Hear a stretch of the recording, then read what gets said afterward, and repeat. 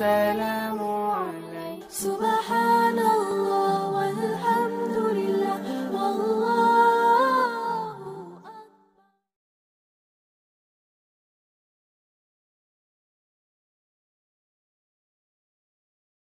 إن الحمد لله نحمده ونستعينه ونستغفره ونعوذ بالله من شرور أنفسنا ومن سيئات أعمالنا.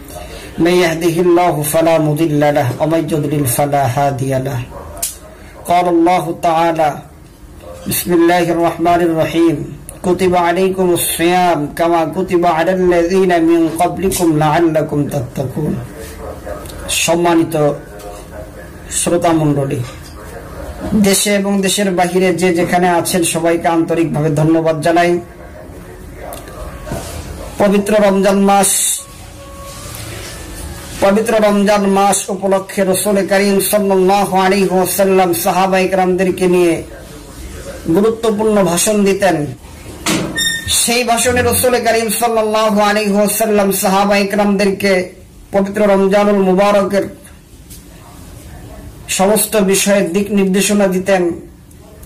নবীজি বলেন, হে সাহাবা ইকরাম অগল্লকুম শাহরুনা আজিমুন মুবারকুন। তোমাদের মাথার উপরে এমন এক মর্যাদাবান, বরকতময় মাস আসতেছে, যেই মাসে এমন একটি রাত আছে, যে রাত হাজার মাস থেকে উত্তম। সে রাতকে বলা হয় লাইলাতুল কদর। লাইলাতুল কদর কত মর্যাদাবান? আল্লাহ পবিত্র কোরআনুল করিমে বলেন, লাইলাতুল কদর এক হাজার মাস থেকে উত্তম। আর এক হাজার মাসে হয় তিরাশি বছর চার মাস। লাইলাতুল কদরে ইবাদত করলে তিরাশি বছর চার মাস ধরে ইবাদত করলে যে সওয়াব হয়, সেই সওয়াব আল্লাহ তাআলা আমল নামাই দিয়ে দেয়। আল্লাহ, যদি আল্লাহ তাআলাকে বলি, আল্লাহ, তুমি কোরআন নাজিল করেছ কবে? আল্লাহ বলেন, বরকতময় এক রাতে কোরআন নাজিল করেছি। বরকতময় রাত কোনটা? রমজানুল মুবারকের সেই বরকতময় রাত যে রাতে আল্লাহ তাআলা মহাগ্রন্থ আল কোরআন নাজিল করেছেন। এই আল কোরআন রমজানুল মুবারকে যারা বেশি বেশি পড়বে, আল্লাহ তাআলা তাদেরকে অনেক অনেক সওয়াব দান করবে। রমজান মাসে আল্লাহ তাআলা রোজা ফরজ করেছেন। রমজান মাসে আল্লাহ তাআলা তারাবি পড়াকে নেকির কাজ হিসেবে সাব্যস্ত করেছেন। একটা বিষয় খুব খেয়াল করব, বর্তমান প্রেক্ষাপটে আমরা তারাবি পড়াটাকে খুব জামাতের সাথে তারাবি পড়াকে খুবই গুরুত্ব দিয়ে থাকি, কিন্তু যে প্রেক্ষাপট চলতেছে, এই প্রেক্ষাপটে যদি আমরা ঘরে নামাজ পড়ি, তাহলে ইনশাল্লাহ জামাতে নামাজের সব পাওয়া যাবে।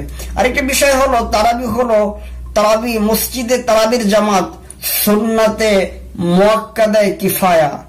একটা হলো ফরজ আর হলো ফরজে আইন। ফরজ আর ফরজে ফরজে আইন আর ফরজে কিফায়া। এর ভিতরে পার্থক্য হলো ফরজে আইন প্রত্যেকের জন্য। আর ফরজে কিফায়া এলাকার ভিতর থেকে কিছু মানুষ আদায় করলে এটা আদায় হয়ে যায়। ঠিক তেমনি ভাবে এই তারাবি ও সুন্নাতে মুয়াক্কাদে কিফায়া। এলাকার ভিতর থেকে কিছু মানুষ জামাতে আদায় করলে সবাই গুনাহমুক্ত হবে। কিন্তু প্রত্যেকের জন্য তারাবি পড়া, প্রত্যেক বালিক পুরুষ, বালিক মহিলা, তাদের জন্য তারাবি পড়া হলো সুন্নাতে মুয়াক্কাদা।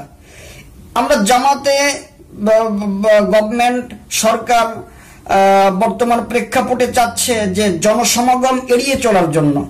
সেই ক্ষেত্রে আমরা মসজিদে ভিড় না করে আমরা ঘরে জামাত করব। আর ঘরে জামাত করার জন্য আমরা আপনজন বিশেষ করে মা বোন স্ত্রী ফুফু এই ধরনের যারা তাদেরকে নিয়ে আমরা যদি ঘরে জামাত করি ইনশাল্লাহ এতে অসুবিধা নাই। এজন্য আমরা সবাই ঘরে নামাজ পড়ব জামাত নামাজ পড়তে চাইলে ঘরে নামাজ পড়তে পারি। আল্লাহ আহ, রমজান মাসে রোজা ফরজ করেছেন পাশাপাশি সহানুভূতিও দেখাতে বলেছেন। আর যে অবস্থা আমাদের দেশে সহ বিশ্বে বিরাজমান করতেছে, এক্ষেত্রে দয়ার ভাগটা একটু বেশি দেখানো, এটাই ইসলামের দিক নির্দেশনামূলক সিদ্ধান্ত। সেই হিসেবে আমরা দয়া কেমন দেখাবো? সাহাবা ইকরাম যেমন দয়া দেখাইছেন। তো এভাবে আমরা দয়া দেখাবো। আমার থেকে অপ- অপর ভাইয়ের প্রয়োজন বেশি, আমার থেকে অপর ভাইয়ের প্রয়োজন বেশি। আল্লাহ আমাকে যেমন রেখেছে, আলহামদুলিল্লাহ, আমার আরেক ভাই সে কষ্ট করে জীবন যাপন করতেছে, রমজান মাস একটু দয়া দেখাবো। তার রুজি রুটি সে একটু ব্যবস্থা আমরা করব যাতে করে সে সেহরিতে ইফতারিতে পরিবার পরিজনকে নিয়ে খেতে পারে। এটা এটাই হলো ইসলাম। আরেকটা বিষয় হলো রমজান হলো সবরের মাস। নবীজি বলেন অসবর সওয়াবুল রমজান মাস ধৈর্যের মাস। লম্বা হাদিসে রসুল করিম আহ, শাবান মাসের শেষে সাহাবা একরামদেরকে নিয়ে রমজান মাসের বক্তব্য পেশ করতেছেন। সেই হাদিসে নবীজি বলেছেন ওহুয়া শাহরু সব্র রমজান হলো সবরের মাস। আর সবরের বিনিময়ে আল্লাহ তালা জান্নাতের উচ্চ মাকাম দান করবেন। কেন রমজান মাসে ধৈর্য ধারণের কথা বলা হয়েছে একায়তে আল্লাহ বলেন অবাশির সাবিরিন আমরা রমজান মাসে বেশি বেশি ধৈর্য ধরবো, কারণ যেই থাকুক না কেন, যেই হোক না কেন, রমজান মাস আসলে মিজাজটা একটু খিটখিটে হয়ে যায়। বিশেষ করে যারা দায়িত্বশীল ভাইয়েরা আছেন, বিভিন্ন দায়িত্ব পালন করেন, রমজান মাসে ইফতারির মুহূর্তে বা বিভিন্ন দায়িত্ব পালনের ক্ষেত্রে মিজাজটা একটু খিটখিটে দেখায়। আমাদের দায়িত্ব হলো একটু ধৈর্য ধরা, একটু সবর করা।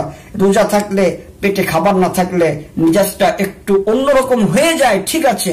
তো তারপরেও যদি রমজান মাসে আমরা একটু ধৈর্যের পরিচয় দিতে পারি নবীজি বলেন এই ধৈর্যের বিনিময়ে আল্লাহ তাআলা তাদেরকে জান্নাতের উচ্চ মাকাম দান করবে। যাই হোক, আজকে আপনাদের সামনে রমজানের কিছু সংক্ষিপ্ত বক্তব্য পেশ করলাম, এলোমেলো। যা বললাম, আল্লাহ তাআলা আমাদেরকে মানাত তৌফিক দান